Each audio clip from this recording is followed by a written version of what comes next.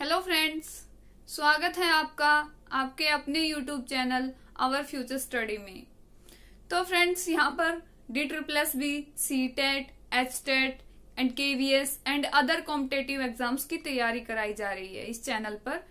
अगर आप इस चैनल पर नए हैं, पहली बार वीडियो देख रहे हैं तो प्लीज़ मेरे चैनल को सब्सक्राइब कीजिए और वीडियो को शुरू से लेकर आखिर तक देखिए, तभी आपको टॉपिक समझ में आएगा। तो हम हिंदी व्याकरण में व्या, संधि का टॉपिक देख रहे थे, जिसमें हम स्वर संधि के पाँचों पार्ट देख चुके हैं। अगर किसी ने वो पार्ट्स नहीं देखे हैं, वो वीडियोस नहीं देखी हैं तो प्लेलिस्ट में जाकर देख सकते हैं। स्वर संधि के पाँचों पार्ट्स के बारे में हमने कवर अप किया है। तो अब व्यंजन संधि देखते हैं कि व्यंजन संधि क्या है। किसे कहते हैं व्यंजन संधि? तो चलिए शुरू करते हैं। व्यंजन संधि। इसकी क्या डेफिनेशन होगी? व्यंजन के बाद, स्वर या व्यंजन आने से जो परिवर्तन होता है, उसे व्यंजन संधि कहते हैं। जैसे एग्ज़ाम्पल से आपको डेफिनेशन अच्छे से क्लियर हो जाएगी। जैसे उदाहरण दिया है यहाँ पर, वाक प्लस ईस। तो क्या बन गया? वागीस कैसे बना? क और बड़ी ई के मेल से क्या बना? गी। तो जो पहला शब्द है, उसका अंतिम वर्ण क्या है? क, जो कि एक व्यंजन है। और व्यंजन के बाद कोई स्वर आया है तो क्या तो कौन सी संधि होगी? व्यंजन संधि। जैसे कि परिभाषा में दिया है, व्यंजन के बाद कोई स्वर। तो ये व्यंजन है, पहले वर्ण का आखिर, पहले शब्द का आखिरी वर्ण व्यंजन होना चाहिए व्यंजन संधि में।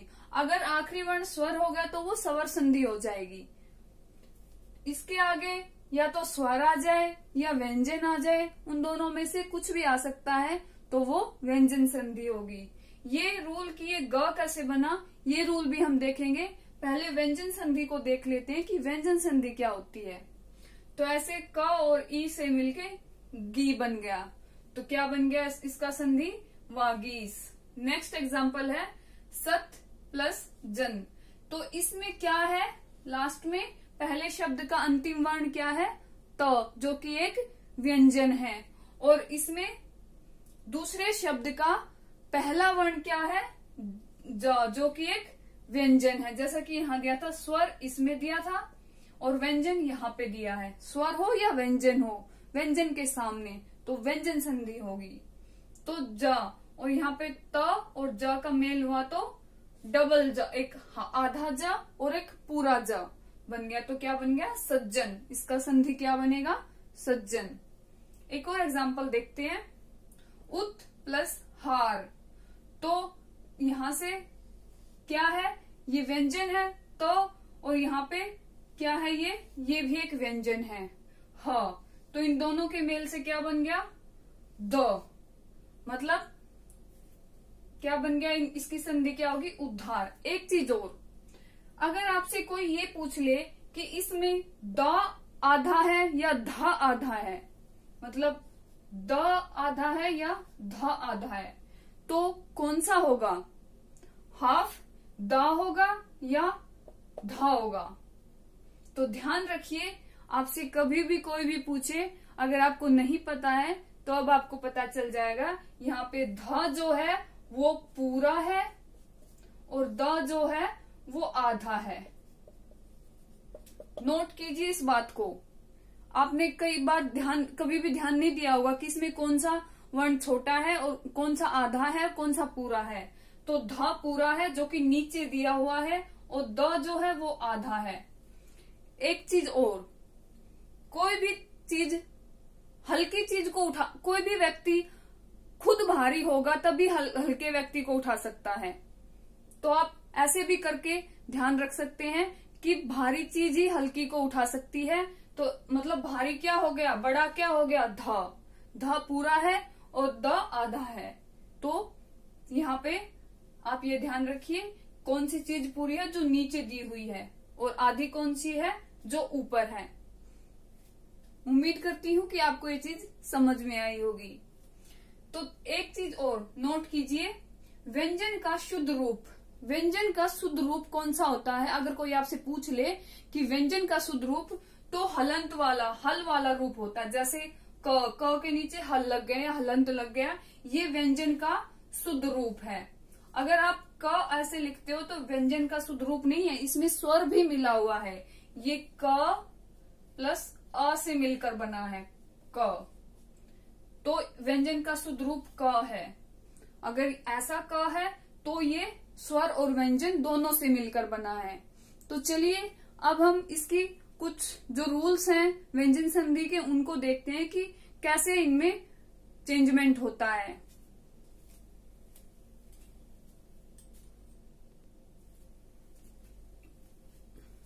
तो चलिए, अब व्यंजन संधि के नियम देखते हैं। सबसे पहला नियम क्या कहता है?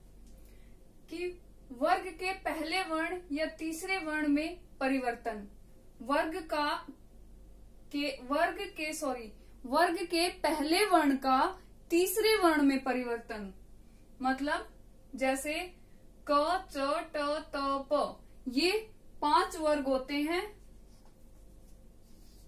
पाँच वर्ग होते हैं, जिनका पहला वर्ण क्या होता है?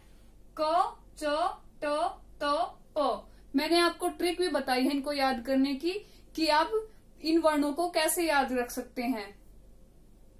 तो ये पाँच वर्ग होते हैं, जिनका पहला वर्ण होता है ये। उसके सामने, इन पाँचों वर्णों के सामने कोई स्वर या किसी वर्ग के तीसरे वर्ण, इनके सामने कोई स्वर आ जाए या किसी वर्ग मतलब ये पाँच वर्ग हैं, इनके तीसरे वर्ण। कौन कौन से होते हैं? ग, ज, ड, द, ब। इनके तीसरे वर्ण आ जाएँ या फिर चौथे वर्ण आ जाएँ? कौन से? घ, झ, ढ, ध, भ। या ये आ जाए या फिर अंतस्थ व्यंजन आ जाए यार अलावा। तो क्या परिवर्तन होगा? क्या बनेगी संधि फिर उसके बाद? वर्ग का पहला वर्ण अपने ही वर्ग के तीसरे वर्ण में परिवर्तित हो जाएगा। एक बार फिर से देखते हैं। वर्ग के पहले वर्ण का तीसरे वर्ण में परिवर्तन। वर्ग के, का पहला वर्ण दिया होगा तो उसका तीसरे वर्ण में परिवर्तन हो जाएगा। कब कब होगा? जब वर्ग के पहले वर्ण के सामने पाँच वर्ग होते हैं, उनका पहला वर्ण क, च, ट, त, प। ये होता उनके सामने। अगर कोई स्वर आ गया, स्वर कोई भी हो सकता है। या किसी वर्ग के तीसरे वर्ण ये जो पाँच वर्ग हैं इनमें से इनका तीसरा वर्ण जैसे इनका तीस, क का क्या होगा तीसरा? वर्ण ग। च का ज ट का ड और त का द प का ब। ये तीसरे वर्ण होंगे और या फिर चौथे वर्ण इन्हीं पाँचों वर्ग के चौथे वर्ण आ जाएँ। जैसे क का चौथा वर्ण कौन सा होगा? घ। च का झ ट का ढ त का ध प का भ, या ये आ जाए, या फिर अंत्यस्त व्यंजन। किसे कहते हैं? एक पॉइंट और यहाँ से निकल गया। अंत्यस्त व्यंजन कौन से होते हैं? य अलावा। या फिर अंत्यस्त व्यंजन आ जाए इनके सामने। तो क्या परिवर्तन होगा? ऐसे संधि विच्छेद में कैसे संधि बनेगी? वर्ग का पहला वर्ण अपने ही वर्ग के तीसरे वर्ण में परिवर्तित हो जाएगा। फॉर एग्ज़ाम्पल एग्ज़ाम्पल देखिए, तब समझ में आएगा। वाक प्लस ईस। ये आपको दिया है और इसकी संधि करनी है। तो इसकी संधि क्या होगी? आधा का और बड़ी की मात्रा। ये क्या है? स्वर है। इसमें दिया है या तो कोई स्वर आ जाए इनके सामने तो इसका क्या बनेगा? इसका ग बन गया, आधा ग प्लस ई। तो क्या बन जाएगा ये? जब आधे ग में ई की मात्रा जुड़ेगी, बड़े ई की मात्रा तो गी। तो क्या बन गया? वागीस। चलिए अगला देखते हैं। शट जमा आनंद। तो ट ट दिया है तो ट का कौन सा बन जाएगा? इसके सामने क्या दिया? स्वर दिया है तो इसका तीसरा बन जाएगा ट का। ट का तीसरा वर्ण क्या होता है? ढ। ये बन गया यहाँ पे। तो ट का मिलन किससे हुआ? अ से या आ से। तो क्या बन गया? ड। यहाँ पे आ की मात्रा है तो आ की मात्रा। ऐसे। अगला एग्ज़ाम्पल देखते हैं। सत प्लस गुण। तो यहाँ पे त दिया है। त इसके सामने क्या है?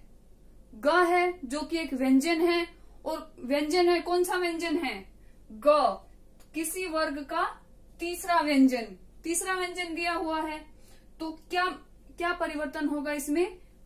त के ही, त का इसी के तीसरे वर्ण में परिवर्तन हो जाएगा। त का कौन सा होगा? त, थ, द। तो द में परिवर्तन हो जाएगा। और द कौन सा आएगा? आधा द। क्योंकि यहाँ पे स्वर नहीं है। अगर स्वर होता तो द में मिल जाता और द पूरा बन जाता। अगर मान लीजिए इस द, त के सामने, त के सामने कोई अ होता तो पूरा ता बन जाता। लेकिन यहाँ पे आप ध्यान दीजिए, यहाँ कोई स्वर नहीं है। ग है, ग एक व्यंजन है। इसलिए द यहाँ पे आधा रहेगा और उसको ऐसे लिखेंगे, सदगुण। अगला एग्ज़ाम्पल देखिए, सत प्लस भावना। इसमें भी क्या है? त एक व्यंजन है, उसके सामने क्या आया है? व्यंजन आया है। और कौन सा आया है? चौथे, चौथा व्यंजन। किसी भी वर्ग का चौथा व्यंजन आया है। ध्यान दीजिए। तो ये ये भी एक व्यंजन है। व्यंजन और व्यंजन का मेल नहीं होगा तो ये क्या बनेगा? आधा त और भ भ मिलके क्या बनेगा? त किसमें परिवर्तन हो जाएगा? अपने ही वर्ग के तीसरे वर्ण में मतलब ध तो भा में इसका मेल नहीं होगा क्योंकि वो भी एक व्यंजन है तो इसलिए आधा द रहेगा। जैसे सद्भावना। ऐसे होगा। अब आपकी अगर अभी भी थोड़ा आपको डाउट हो, समझ में नहीं आया हो तो आप वीडियो को रिपीट करके देख सकते हो। ये बहुत इजी है। एक बार में, एक बार में थोड़ा मुश्किल लगेगा, पर जब आप दो से तीन बार देखोगे नोट डाउन करोगे तो आपकी समझ में आ जाएगा। तो चलिए, दूसरा रूल देखते हैं।